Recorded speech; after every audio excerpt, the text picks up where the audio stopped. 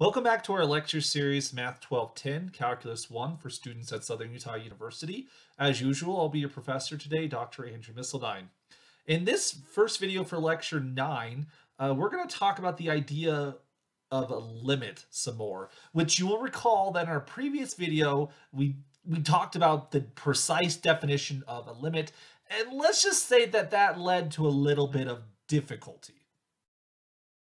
We had talked about this idea of error and allowance, that if we wanted to be sufficiently close to a y coordinate, how much error should we allow in the x coordinate to guarantee? Things like that. Uh, this led to what we call the precise definition of a limit, uh, for which it was it was kind of difficult to, uh, to to really understand what was going on there. We we did prove uh, the limit of a line was such and such, but it was very very difficult. Uh, let's, in this video, introduce more of an intuitive notion of what a limit is, and we'll try to draw connections between these two notions. Uh, and I, I, think this will help simplify a lot of the concerns we might have seen previously. So imagine we have a function f of x equals x squared minus 4 over x minus 2. This is a standard rational function, and we might be asked to, you know, to evaluate what is f of 1. Like if we were just to directly substitute in the value x equals 1 of this function, what would we get? Well, by direct substitution, f of 1, you're going to replace each of these x's with a 1, in which case you're going to get in the numerator a 1 squared minus 4. Uh, 1 squared is 1, 1 minus 4 is a negative 3. In the denominator, you're going to get 1 minus 2, which is a negative 1. And so you see this double negative right here, negative 3 divided by negative 1 equals a positive 3. So the function is 3 when x equals 1. So y equals 3 when x equals 1. We, this is this is a type of algebraic calculation that we do all the time. Now, why this is relevant to calculus is the next statement here. Let me draw it to your attention that it is also true that when x is a number very close to 1, then f of x is a number very close to 3. That is, if we accept a small amount of error above or below y equals 3, then there's a small amount of allowance to the left or right of x equals 1, which keeps y equals f of x inside of the margin of error. So you, you notice I squiggled and was eh, screechy with my voice. Why did I do that for very close? Well, when we say something's close, this is a relative term, right? Um, you know, if you were like sitting in a classroom and someone was sitting close to you, that probably means they're like a few inches away from you. It's like, hey, bub, I can smell you. Please, please scoot down a little bit. Um, but if you're an asteroid speeding through our solar system, if you're within like 10,000 miles of Earth, that's considered really close, right? Uh, closeness is somewhat relative, right? And so how how do we make sense on these relative terms in any precise sense? How can I say really close when it depends on what type of astronomical scale are we on. Are we talking about close inside the galaxy? We're separated by a few light years. Are we close on like the quantum scale? Oh yeah, these things are like one nanometer away from each other. Or what what what what scale is going on here? So the definition, the precise definition of the of the limit allows for us to be precise on what we mean by very close. By very close, it means if I prescribe for you some type of epsilon. So epsilon is greater than zero. So there's some positive amount. Epsilon we want to think of as a really, really, really small number, right? Uh, again, small is, is relative, right? But it's really, really small. So if we're just epsilon away from three, that's what we consider very close. And so in correspondence, what does it mean to be very close to one? It means that we have some delta greater than zero, right? There's some number delta so that if we're delta close to one, then we'll be epsilon close to three. So if we are close, delta close to one, then f will always be epsilon close to three, where of course we can derive delta given any epsilon whatsoever. Okay, so intuitively we can understand what things like close actually mean, but from a quantitative sense, we do need to be more precise uh, because we otherwise the ambiguity we could get stuck in logical traps and things like that. That's the need for this epsilon delta stuff. All right, so why do we care about things being close, right? f of 1 equals 3. Why does it matter if, you know, 1, when you're close to 1, the function will be close to 3? Well, there are settings where we can't evaluate the function, but we can still talk about closeness. Let's take the same function and transition now to the number x equals 2. You'll notice if you take your function f of x equals x squared minus 4 over x minus 2, what happens when you plug in 2, right? You're going to get f of 2. You don't see the doom that's approaching you. You get 2 squared uh, minus 4 over 2 minus 2. The, the danger's coming. It's like in that horror film when you can hear the music. Then the, the person's like, don't go in that room. What happens? You end up with getting 0 over 0. We just divide by 0. We blew up our universe this function is undefined at x equals 2. f of 2 does not exist. D and E happening right here. So we can't evaluate the function at 2, but we can evaluate the function near 2. Because after all, if I look at f of 2.1, that's inside the domain. 2.1 doesn't make the denominator go to 0. Uh, 2 does. I could calculate it at 2.01. I could calculate it 2.001. I could calculate uh, 2.0000, lots of zeros, 1 at the end, right? All of those are going to be well defined because none of those make the denominator go to 0. That's the only problem with the domain. So I can get really close to 2, right? Never touching, but I can get as close as 2 as you want. Uh, and so the proverbial family road trip, right? What happens, you know, at least this was the case when I was a kid. You know, we didn't have cell phones and Nintendo Switches and things that we could bring in the car with us. We had to stare at other cars as we're driving and look at a license plate. That's that's what kids did to entertain themselves, you know. So what what happened, of course, is the little brother, aka me you know i found enjoyment by pestering my older siblings my older sister right? So like how close how close can i get to my sister with my finger without actually touching her? And now you know she'll she'll she'll whine mom andrew's trying to touch me. It's like i'm not touching you. I'm not touching you. I might be epsilon close but i'm not touching you. Right? We're not actually touching x equals 2 um, but we can get really really close to it. So it turns out that if we get really close never actually equaling. But if we get really close to 2, the function's still defined. And what happens to the function?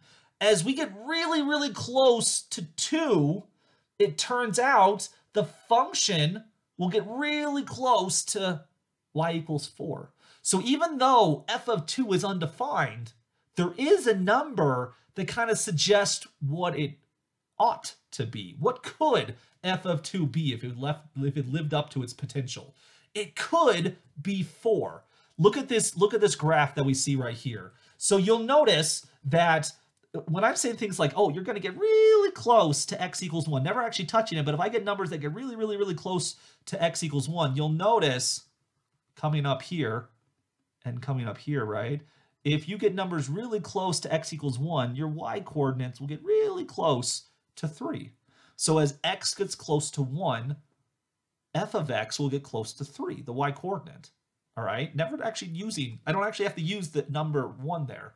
But what if we do the same thing for x equals 2? As my numbers get really close to x equals 2, like I'm getting numbers super close on the number line to x equals 2, then on the y-axis, your coordinates are going to get really close to 4.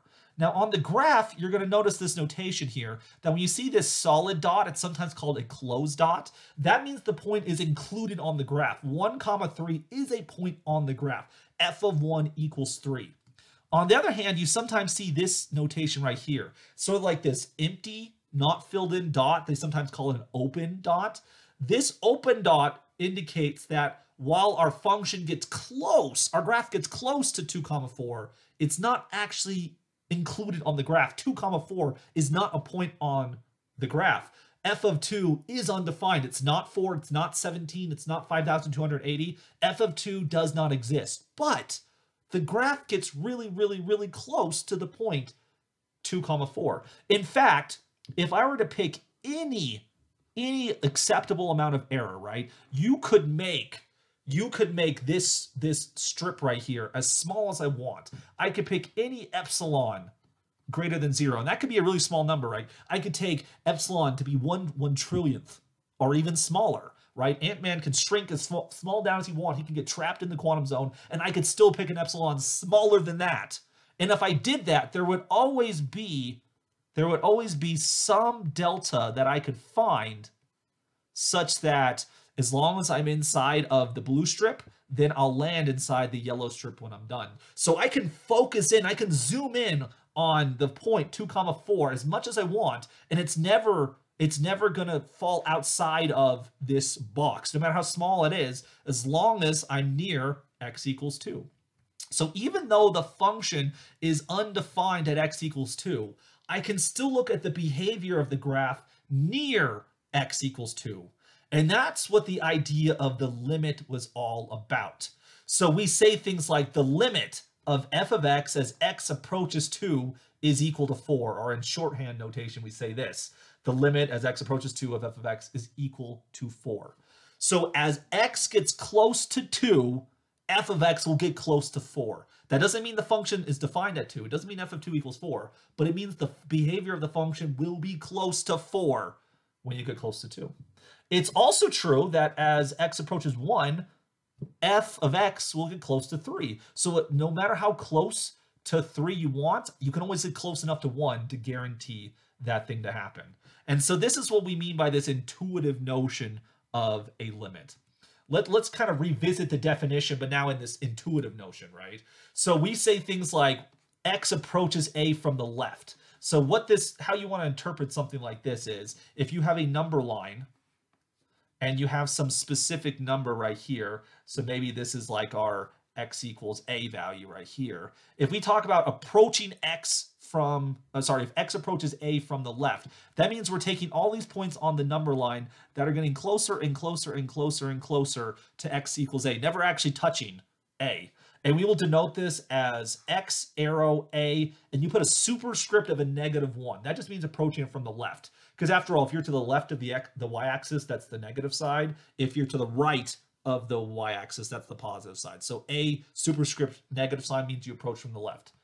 Um, similarly, we can talk about as x approaches a from the right. What this means is you're talking about a sequence of numbers that's approaching a from the right. Never touching a, but getting as close to it as you want. Closer than the brother trying to poke his sister without actually poking her, right? And so we denote this as x approaches a plus. That means you approach it from the right. And so with these shorthands, we can talk about the limit from the left or the left-handed limit or the limit from the right. So the limit, the left-handed limit of a function is the limit as you approach um, x from the left will be denoted the limit as x approaches a from the left. You see it right there of f of x. So this is saying if I were to get delta close to a on the left, what should I expect the function to do? So as, as you arbitrarily get closer and closer to x equals a, what happens to the y coordinate? If you don't see the right-hand side, you can't see it, you can't see it. If you only see the left-hand side of the graph, into what, what's the function behaving like? And similarly, you get the you get the idea of a limit from the right. This is so-called right-handed limit. As x approaches a from the right, what is your function doing? That's called the right-handed limit. Now, if we want if we allow approaching x equals a from both sides, this is the standard limit, sometimes called the two-handed limit, uh, the double-sided limit to emphasize it's both left and right. But if you just see me write x arrow a, that means as you approach x, uh, as x approaches a, which means you approach x from you x approaches a from the left and from the right. This gives you the standard notion of the limit. The limit as x approaches a of f of x, like here. And so let's look at another example. This one's kind of similar to what we saw a moment ago. If I were to pick any number in the domain, let's like take x equals zero, right? As I get closer and closer to x equals zero, your y coordinates are going to get closer and closer to y equals one. And so then we would say something like the limit as x approaches zero for our function g of x right here, this is going to be one. If I pick the value, let's say, let's take um, x equals negative one right here, as I approach from the right, this is going to approach zero. So we'd say something like the limit as x approaches negative one from the right of g of x, this is going to equal zero. Um, if we were to approach it from the left, like so, if you approach it from the left, then on the graph, then your y coordinate's getting closer and closer and closer to zero as well. And so you get the limit as x approaches negative 1 from the left of g of x, this is what we would say is 0. Now you'll notice that the left-hand limit and the right-hand limit agree in this situation. And so that's what we mean by the two-handed limit. The two-handed limit exists if and only if the left-hand limit and the right-hand limit exist and agree with each other. So we say the limit as x approaches negative 1 of g of x, this is equal to 0. Now the curious, the curious thing is about this one right here. Okay, you, this is an example of a remove point. We actually moved the point away and moved it somewhere else over here. You look at this, there's like this black hole. Uh, the point 1 comma 2 seems like it ought to be on the function, but for whatever reason, this point's been moved up to 1 comma 3. Why 3, right? Well, you know, sometimes your, your, your parents are like, I want you to become a lawyer when you grow up. It's like, no, I love mathematics. I won't listen to you. You know, sometimes we don't always live up to our expectations. Sometimes we can find something better. But for some reason, this point has been moved away from the 1 comma 2. Now, in terms of the limit, the limit is looking for the expectation if I were to pick some margin of error, then this value is going to predict this right here because we actually can't look. You know, let me let me kind of do this in a slightly different way, erasing my screen a little bit. Uh, what we what we're doing when we see this functions, we actually can't see. We can't see what happens at x equals one. Aha! This is so clever. You'll never be able to tell. I know, it, it's super clever here. But if I were to put this on the screen, it's like, hmm, I can see that x equals 1 should be around here. What do you expect the function to be doing? Well, the function expects to be like if you're getting closer to 1, you get you, you seem to be getting close to here. If you if you come from the other side, you seem to be here. So we see that the left limit as you approach 1 of g of x, it looks like it's going to be a 2. You know, if I was a betting man, that's what I would say. And if you take the right limit, as x approaches 1 from the right of g of x, well, again, I would say it's going to be a 2, right? That's what you would expect. The left limit, the right limit, they both exist. They both agree. So we would say that the limit as x approaches 1 of g of x here, we expect that to be 2. That's the expectation. But when we actually reveal back, right, we, we, we, we go visit our friend in the hospital and they injured their face, we expect that person when they take off the bandage to be Harvey Dent, but no, when they pull off the bandage, it turns out they're Two-Face now. It wasn't what we expected. We couldn't have predicted that by looking at what happens near x equals 1 because the behavior near x equals 1 was predicting it was going to be y equals 2 but it turned out as y equals 3 who would have guessed and so this is what limits are all about. Limits are trying to calculate the expectation, the trend of a function. They don't actually measure what the function actually does.